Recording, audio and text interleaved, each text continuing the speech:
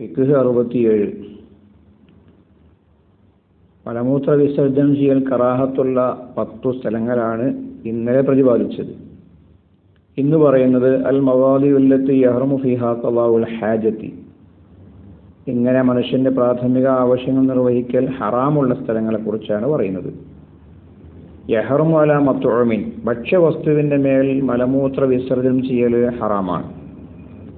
വാളുമിൻ എല്ലിന്റെ മുകളിൽ വ മുഅവ്വമിൻ വന്ദിക്കപ്പെടുന്ന വസ്തുവിന്റെ മേൽ വ കബിരി മുഹ്തറമിൻ ആദരിക്കപ്പെടുന്ന വ്യക്തിയുടെ കബറിന്റെ മേൽ അബി കുറുബി ഖബരി നബിയിൻ നബിയുടെ ഖബറിന്റെ ചാരത്ത് അഫൈ മസ്ജിദിൻ പള്ളിയിൽ.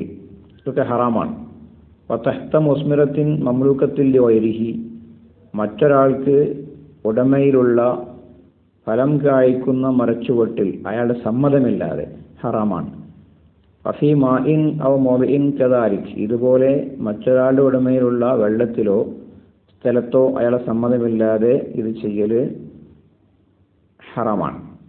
വ മുസ്തഖ്ബിൽ കിബലത്തി ഔ മുസ്തദ്ബിറഹ.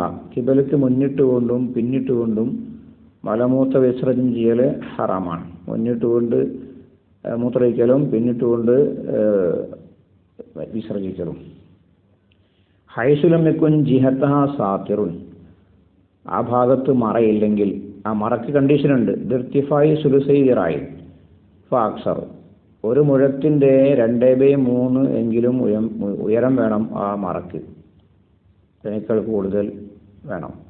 ബി കുർബി സലാഹത്തി അതുറയിൻ ഫാക്കല്ല. അതും ആ മറയോട് മൂന്ന് മുഴം അടുത്തിരിക്കണം. അല്ല അതിനേക്കാൾ കുറവ് അടുത്തായിരിക്കണം. മൂന്ന് മുഴത്തേക്കാൾ ഇപ്പുറമായാൽ ആ മറക്ക് പ്രസക്തിയില്ല. അപ്പം മൂന്ന് മുഴത്തിന്റെ ഉള്ളിലായിട്ട് ഒരു മറ വേണം.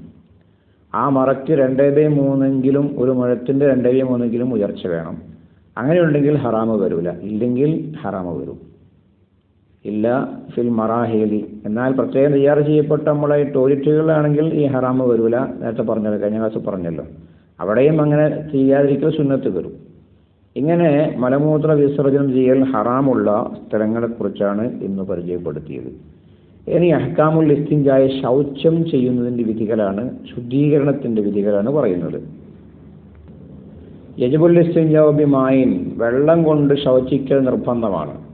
ഔ ഹജരിൻ അല്ലെങ്കിൽ കല്ല് കൊണ്ട് ശൗചിക്കൽ നിർബന്ധമാണ്. മിൻ കുല്ലി നജിസിൻ മുലൗബിസിൻ പുരട്ടുന്ന പുരളുന്ന എല്ലാ നജിസിനെ തൊട്ടും. ഹറജ മിൽ ഫറജ് ഫറജിൽ നിന്ന് പുറത്തു വന്ന പുരളുന്ന എല്ലാ നജിസിനെ തൊട്ടും കല്ല് കൊണ്ടോ വെള്ളം കൊണ്ടോ ശോഷിക്കൽ നിർബന്ധമാണ്. വയന്തപുമിൻ വളരെ മുലബസിൻ പുരളാത്ത നജസ് പുറത്തേക്ക് വന്നാൽ ഇപ്പറഞ്ഞത് പറഞ്ഞത് സുന്നത്താണ്. കദൂരിൻ വ ബയരിൻ പുഴു ഉണങ്ങിയ പുഴു അല്ലെങ്കിൽ ഉണങ്ങിയ നനമൊന്നുമില്ലാത്ത മലത്തിന്റെ കഷ്ണമാണ് പോകുന്നു വെക്കുക പോന്നാൽ അവിടെ ഈ സ്റ്റിഞ്ചാത് നിർബന്ധമല്ല സുന്നത്താണ്. വയുക്രഹുമി റീഹിൻ. എന്നാൽ കീഴ്വായു പോയി കഴിഞ്ഞാൽ അതിനു വേണ്ടി കഴുകുക എന്നുള്ളത് കറാഹത്ത. അങ്ങനെ വസ്വാസരാരുണ്ടെങ്കിൽ ശ്രദ്ധിച്ചോളി അത് കറാഹത്തായിട്ട് വരും. ഗ്യാസ് പോയാൽ കറാഹത്താണ് സിഞ്ചായ ചെയ്യലെന്നർത്ഥം വഹുവ ഹറാമുൻ ബിൻ അഹ്ലി മത്തുമിൻ ഈ ശൗചിക്കാൻ വേണ്ടി ഭക്ഷ്യവസ്തു ഉപയോഗിക്കൽ ഹറാമാ. കല്ലുകൊണ്ട് ശൗചിക്കാലോ.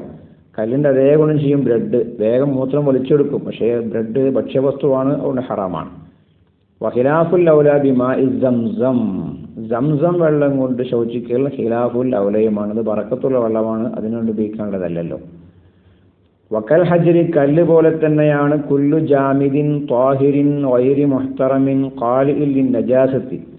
നജസ് വലിച്ചെടുക്കുന്ന ആദരിക്കപ്പെട്ടതല്ലാത്ത ശുദ്ധിയുള്ള എല്ലാ വസ്തുക്കളും കല്ലിന്റെ സ്ഥാനത്താണ്. ഓടിന്റെ കഷ്ണാലും മതി. ഇഷ്ടിക കഷ്ണങ്ങളും പെട്ട് അങ്ങനെ ഏതെങ്കിലുമൊക്കെ വസ്തുക്കളും മതി. അതൊക്കെ ടിഷ്യൂവും പെടും. പലായക്സി ഹല്ലുൻ അപ്പോൾ സുറക്ക പറ്റില്ല. കാരണം അത് വെള്ളമല്ല. ഉണക്ക ഉണക്കക്കാഷ്ടം പറ്റൂല. അത് മൂത്രം വലിച്ചെടുത്താലും കാരണം അത് നജസാണ്. പല കസബുൻ ഈ മുള പോലത്തെ വസ്തുക്കളും പറ്റൂല. കാരണം അത് മിനുസമാണ് വെള്ളത്തെ വലിച്ചെടുക്കൂല. മൂത്രത്തെ വലിച്ചെടുക്കൂല. പല ഹൊബുസുൻ റൊട്ടിയും പറ്റൂല. കാരണം അത് മൊത്തവുമാണ് ഭക്ഷ്യവസ്തുവാണ്. ഇങ്ങനെ കല്ലുകൊണ്ട് ശോചിക്കാം. കല്ലിന്റെ അർത്ഥത്തിലുള്ള വസ്തുക്കളെ കൊണ്ട് ശോചിക്കാം. വെള്ളം കൊണ്ട് ശോചിക്കാം. ഇങ്ങനെ ഇതൊക്കൊണ്ടാണ് മനുഷ്യന്റെ മലമൂത്ര വിസർജനം നടത്തിക്കഴിഞ്ഞാൽ ശുദ്ധീകരിക്കേണ്ട വസ്തുക്കൾ ഇത് പ്രത്യേകം ശ്രദ്ധിക്കുക.